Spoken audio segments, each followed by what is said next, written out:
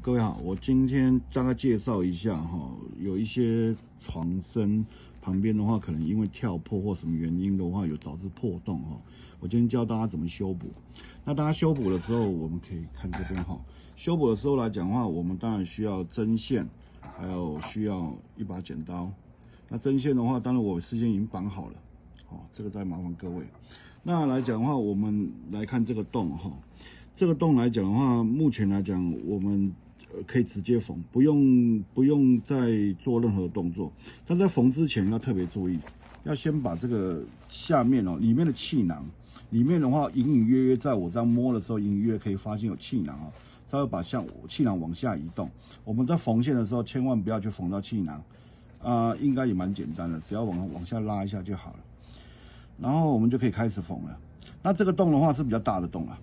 哦，这洞是比较大的洞，啊，小的洞的话大概是三针就应该可以了，大的洞大概四五针。好，在缝的时候来讲的话，我们就两边的话，两边把它对齐，破洞这个地方，好，把它对对齐。那对齐的时候来讲的话，这个线哈，直接的话就这样子穿过去。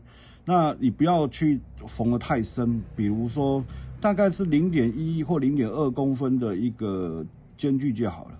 哦，这个距离。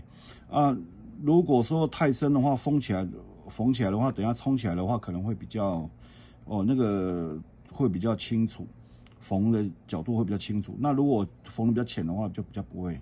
好，这样子缝过去，好，好，确认一下两边都有缝。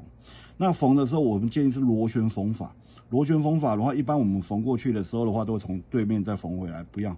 我们要同方向的话，再把它缝过去。好，尽量缝浅一点。好，两针。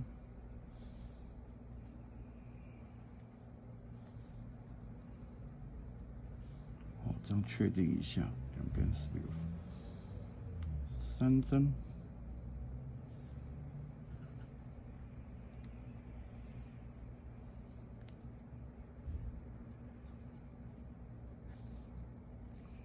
四针距离不要太，每一针的距离不要太大，太大的话，到时候来讲的话，比较容易看得，冲起来的话，这个洞比较容易看得到。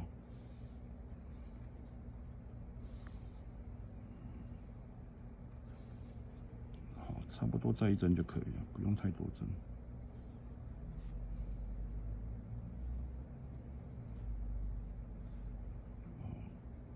因为我是想尽量把它浅一点。所以来讲，一直在调距离。嗯，好，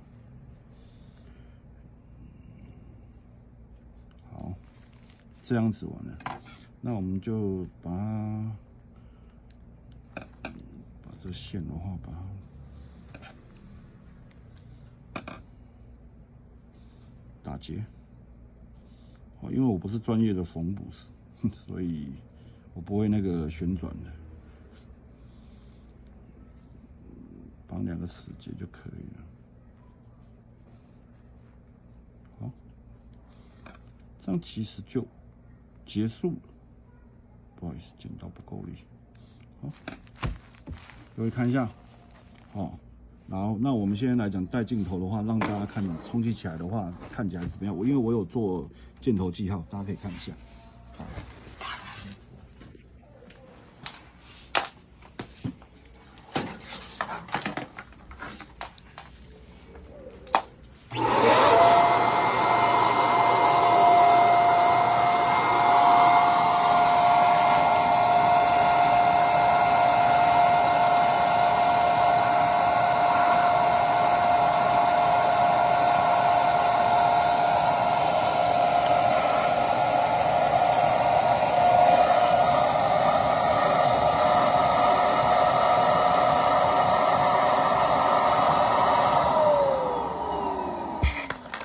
这就各位可以看到，刚刚缝补的地方来讲的话，基本上很难发现的了了。